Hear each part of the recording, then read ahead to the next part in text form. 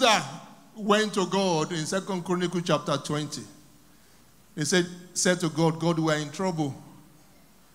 Three people, three nations have come to fight us, and we cannot stand them. God said, Do you know what? Why don't you dance for me a little bit? Uh, why don't you sing for me a little bit? How many of you know the story? They came to complain that they have a problem. And God said, if, if you dance for me a little bit, I can take over the trouble. You are going to say, Father, nothing will stop my praise for you. Nothing will stop my swagger for you. I will praise you for as long as I have breath. Go ahead and talk to the Lord.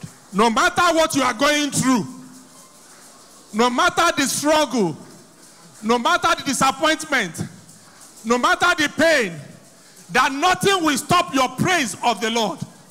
Nothing will stop your swagger for God. You will praise Him for as long as there is breath in you. Go ahead and talk to the Lord. I will praise you for the rest of my life. Nothing will stop my praise for you. Nothing will stop my singing and dancing for you. Nothing will stop my swagger for you. For as long as I live, your praise will be in my mouth. For as long as there is breath in me, your praise will be in my mouth. There is nothing that can stop my praise. In Jesus' mighty name, we are prayed. For as long as you keep your promise and you continue to praise the Lord, whatever comes your way, you will overcome. I say it one more time whatever may come your way, you will triumph. Your joy shall be full. In Jesus' mighty name, we are prayed. And while he's standing, please open with me to Isaiah chapter 1, verse 19. And together we read If ye be willing and obedient, ye shall eat the good of the land. This morning, I am led of God to continue in the series, May Your Joy Be Full. I say it one more time, May Your Joy Be Full. Today is part two, and we shall continue for as the Lord leads.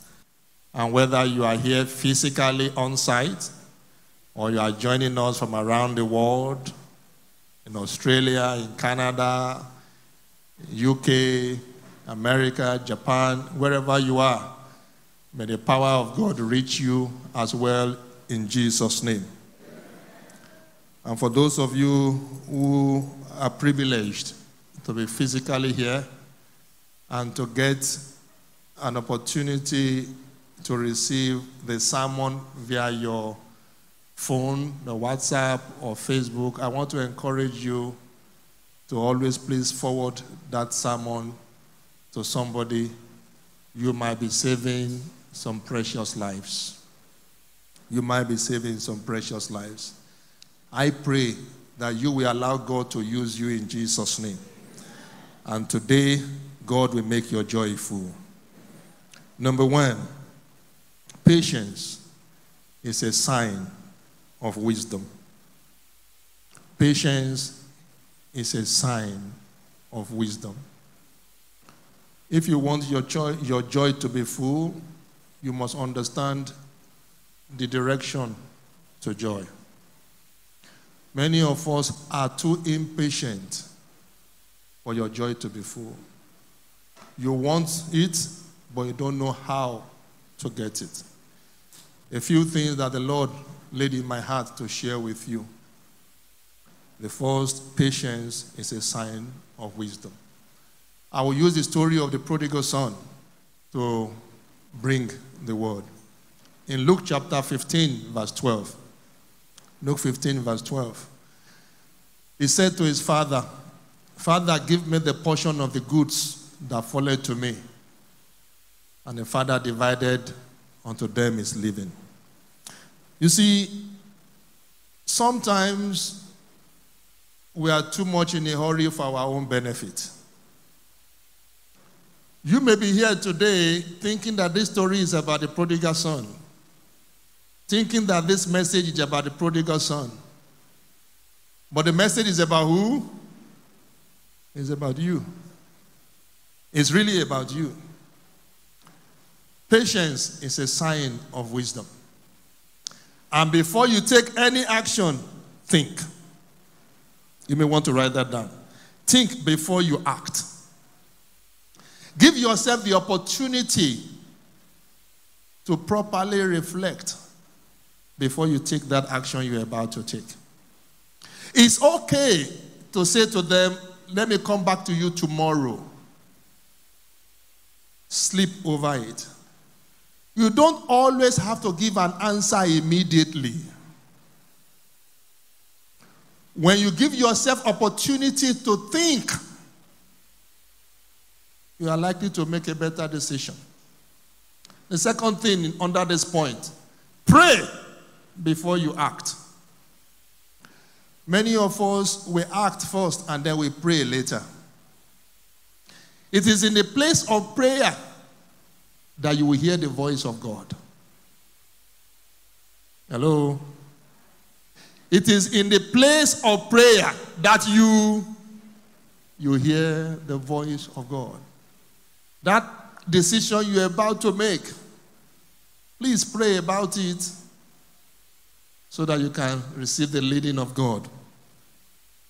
And then, lastly, on this point, seek godly counsel before you act. Seek godly counsel before you act. I have been a recipient of this thing I'm telling you. Many times in my life, many times, I'd wanted to take some serious decisions, life changing decisions. But each time, I always remember to say, let me talk to this, let me talk to this person. And the outcome is a different decision. Because the Bible says, iron sharpened iron. How many of you think you know it all? You don't need anybody to advise you. Can I see your hand up? You really don't need anybody to advise you. You know it all. Before you take that decision, seek godly counsel. Ecclesiastes chapter 3, verse 1. Ecclesiastes 3, verse 1 says, To everything there is a season the thing that you are looking for has a timestamp on it by the Lord.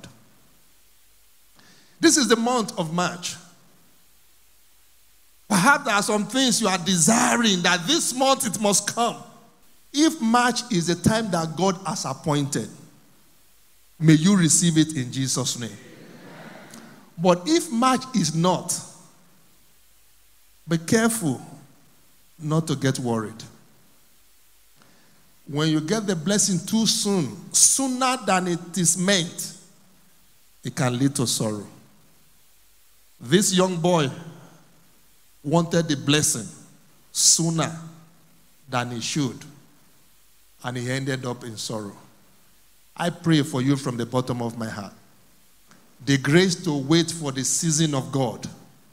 May God grant unto you in Jesus' name. You will not make a decision you will live to regret. Ecclesiastes chapter 3, verse 11. It makes everything beautiful in its time. So, the question for you, my brother, my sister, when do you want the blessing? Your time or God's time? When do you want it? Then rise on your feet and say, Lord, I will wait for your time. I will wait for your time. Talk to the Lord.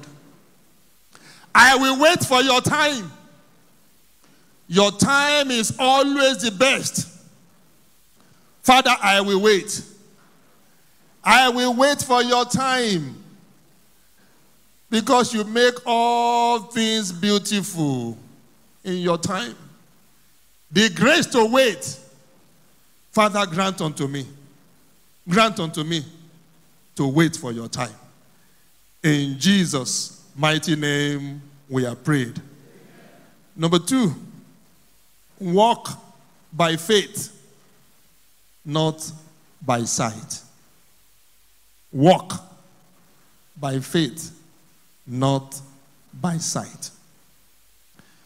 That young man saw some good life and he wanted to get what he saw. You see, when he went to his father and said, Give me my own portion, it's not because of the money, it's because he wanted a lifestyle that he saw in some people. Be careful what you see, and don't let your life be driven by what you see. I told them during the first sermon, more than 90% of the time, what you see is packaging. What is it? Look at the person sitting next to you. That may not be the real person. Look again, just don't look again. That may not be the real person. What you are seeing is, is packaging. That's all you are seeing is packaging. That little boy saw a lot of packaging. He said, Lord, I can't wait to, Father, I can't wait. Me too, I want that lifestyle. He did not know that human eye cannot see the full story. You see the person sitting next to you, if they open up and tell you what they are going through, you say, ha! and you are dressed like this? Write this down. You don't see the full story. Write it down. You don't see the full story. You don't. Also, write this down. You can't see the full story. In spite of your best effort, it is impossible for you to see the full story. Somebody went recently, some months ago, to get counsel. He said, This my husband. I don't know that I want to continue. And then the wife, the pastor called the husband. What is going on with you? The husband told the man of God, I don't think I want to continue in this marriage.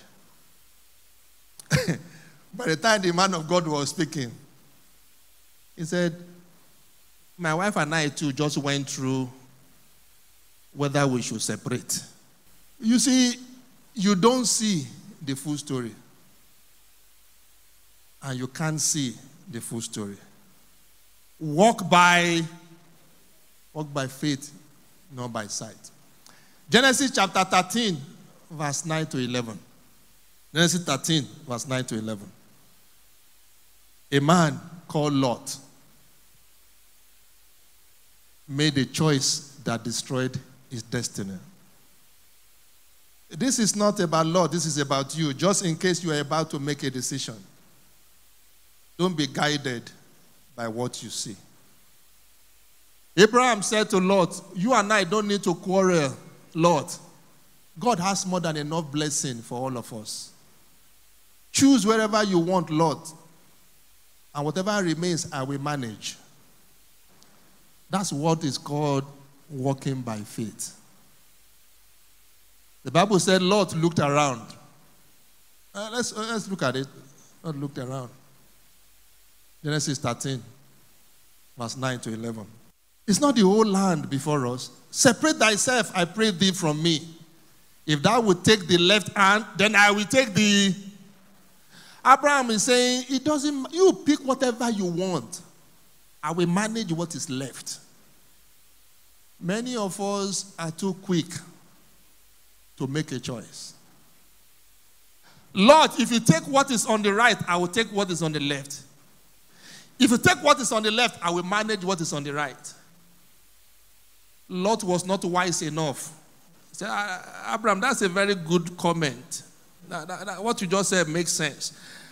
And then he looked around, and the Bible said he saw, verse 10, he saw, Lot lifted up his eyes and beheld the plain of Jordan.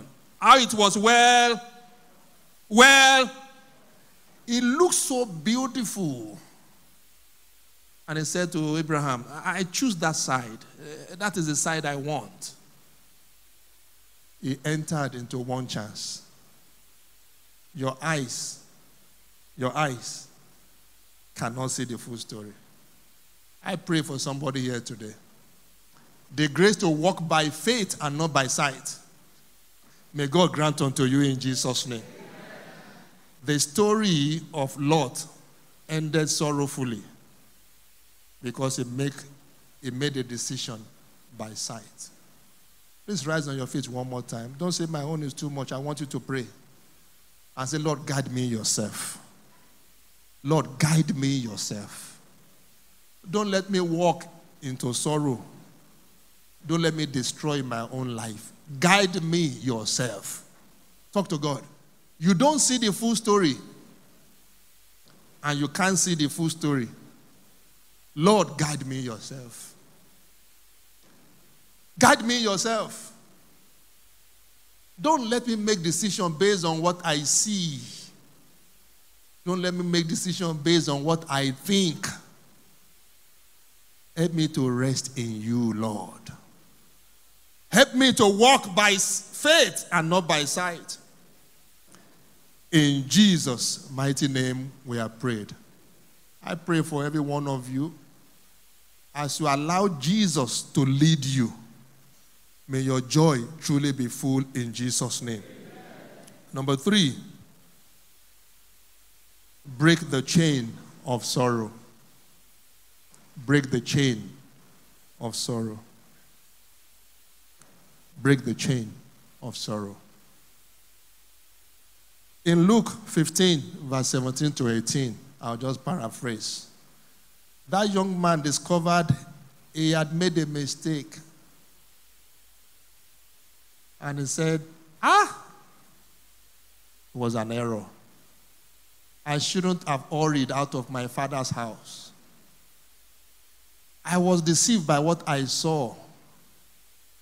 He said, oh, Rather than me continuing in this sorrow, I will break the chain of this sorrow.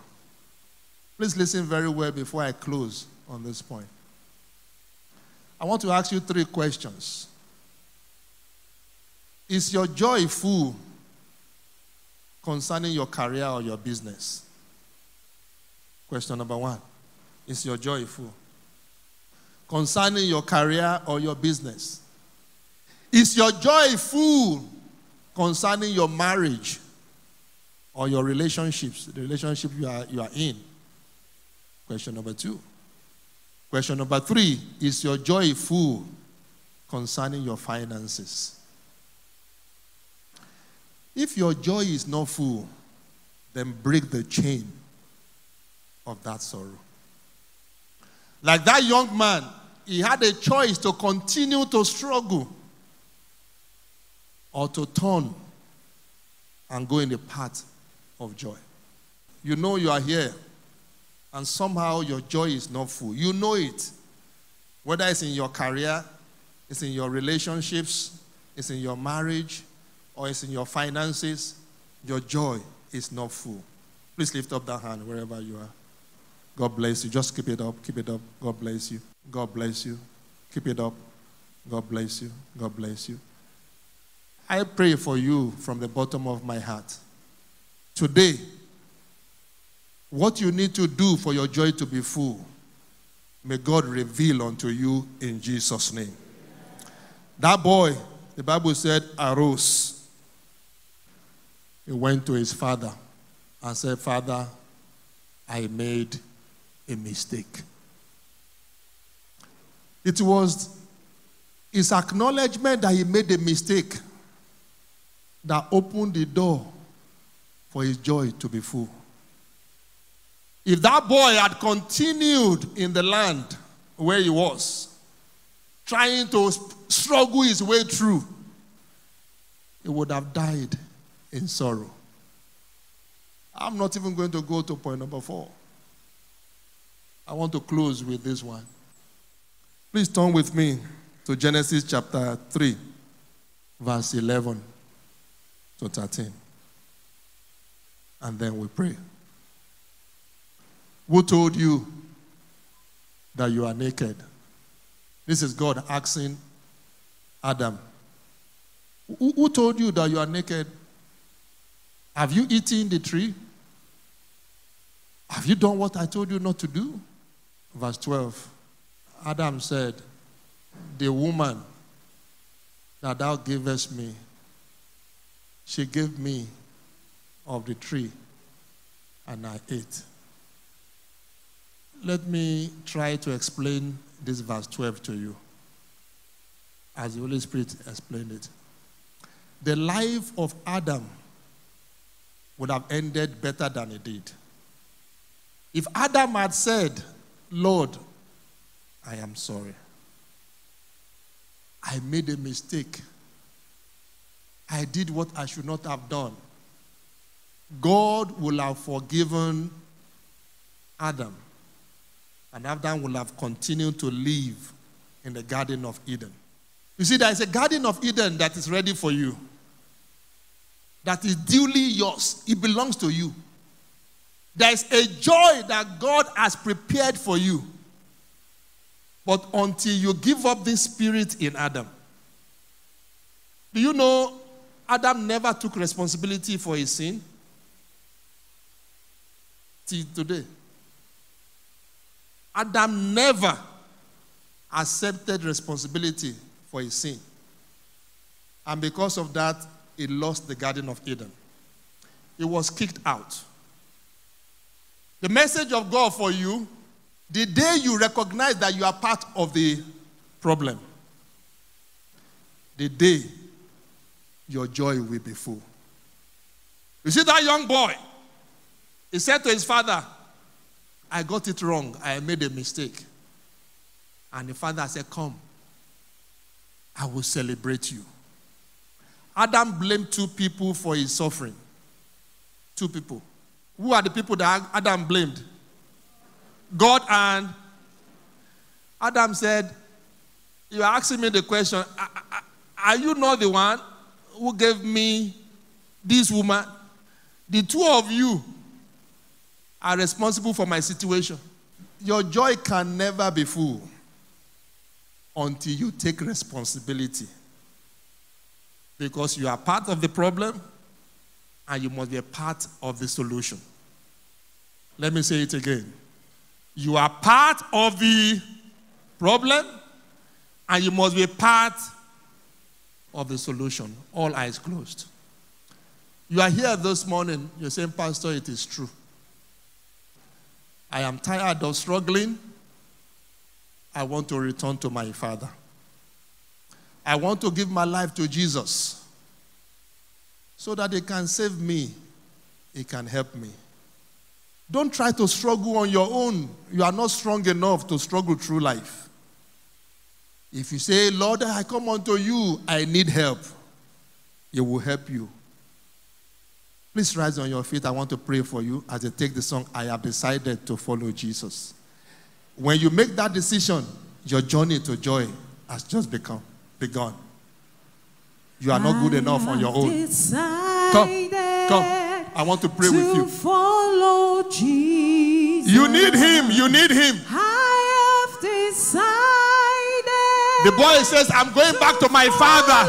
Jesus. I need my father for my joy to be full. I can't do it on my own. Follow Jesus. You have to take that decision. You have to take this decision. God bless you, my sister. God bless you, my brother. Come, come. Keep coming, keep coming. Keep coming.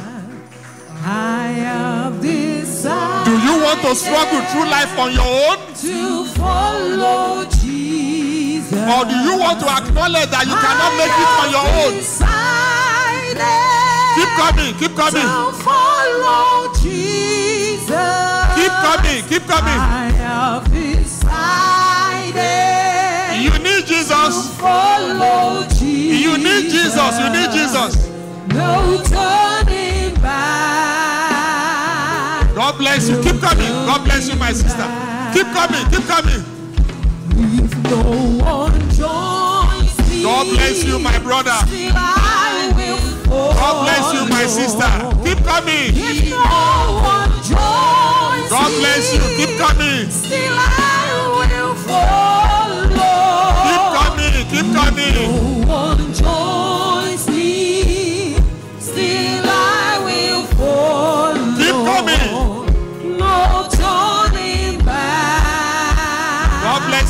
Brother. Come, come. Say, I need Jesus. I need Jesus. I can't make it on my own. I can't make it on my own. I have decided to follow Jesus. I can't make it on my own.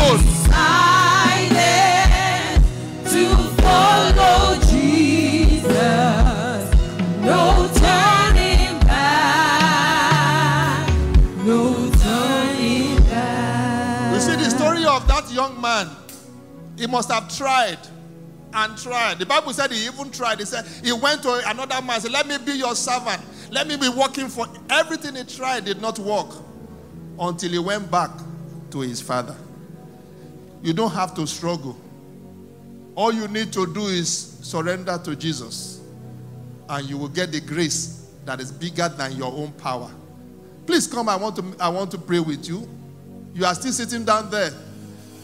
You have been trying, struggling on your own. You have not succeeded. Why don't you surrender your life to Jesus? Come, come. I want to pray for you. Come, come, come. You don't need to struggle through life. Come to your father. Come to your father. God bless you. Come.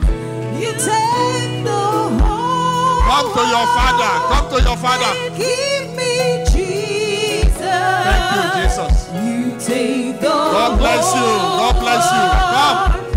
Come. And give me Jesus. God bless you, my sister. Come. I'm satisfied. God bless you, my brother. Come, I'm come. satisfied. I have decided. I have decided Come,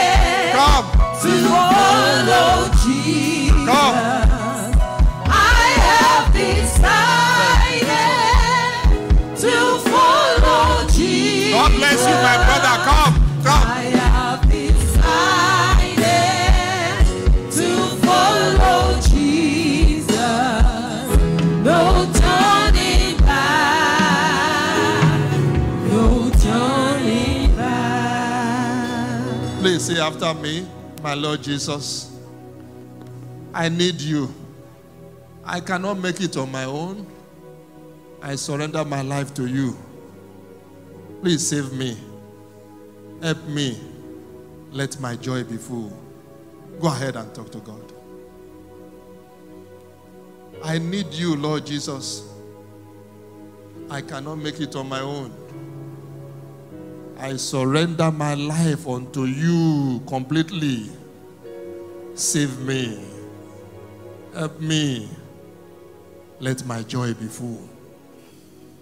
In Jesus' mighty name, we have prayed. Father, I commit your sons and your daughters into your hands, and as many as are giving their lives online as well, all over the world, accept them into your kingdom in Jesus' name. And the grace that is bigger than their power, release upon them in the mighty name of Jesus. From this very day, let their joy be full. In Jesus' mighty name, we have prayed. Just in case you are the one God is speaking to today, Abraham had a chance to break the chain of sorrow, and he failed. He had a chance to, to break that chain and remain in the Garden of Eden. He failed and he was driven out. I'm going to ask you to come forward if you believe that you are part of the problem.